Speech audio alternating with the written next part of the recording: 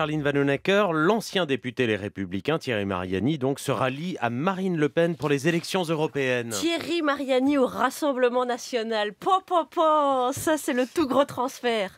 Neymar au PSG à côté, c'est de la petite bière.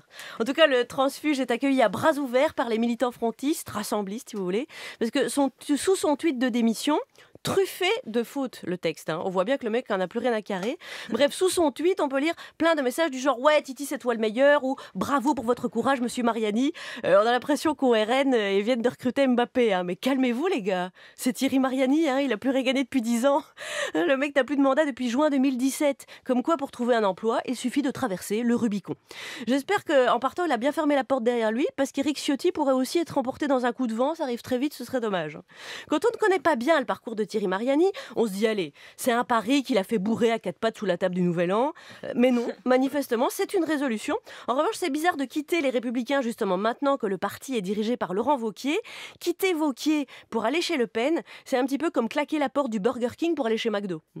Cela dit, les Républicains, c'est plus que c'était. Hein. Euh, Juppé, Raffarin, les deux gauchistes, là, euh, ont fait énormément de dégâts. Fillon, c'est la loose. Le reste est parti chez Macron. Il reste qui? Jean-François Copé, bien sûr, la preuve, vous êtes là ce matin. Oh, quand j'ai appris que. Quand, quand j'ai appris profiter parce que ça m'arrive pas souvent bah de oui, dire. je sais. Hein non, mais quand j'ai appris que Mariani se, se, ralliait. Quand on a appris la nouvelle avec Mariani, j'ai pensé à vous. Je me suis dit, oh là là, Jean-François, il doit être profondément choqué. Oh, monsieur Copé, ça m'avait manqué. Ça me rappelle le bon temps. Allez, bref. Euh, voyez ce qui se passe en Hongrie, en Autriche, au Brésil, en Italie. Mariani ne tenait plus en place. Donc, bim, coming out. Je vais là où sont mes idées, dit-il. C'est sans doute pour ça qu'en 4 ans, il est allé 5 fois en Syrie. C'est beau. C'est comme si Patrick Buisson plaquait tout du jour au lendemain pour devenir ingénieur du son. Ou François de Rugy allait bosser chez Areva, voyez. Résultat pour les européennes, Thierry Mariani sera donc troisième sur la liste du tout jeune Jordan Bardella. Mariani, Bardella, dis donc, on est bien en France, là hein? Mais enfin bon, voilà. Il a finalement choisi Marine Le Pen et Mario Maréchal, elle sort la choucroute ou quoi?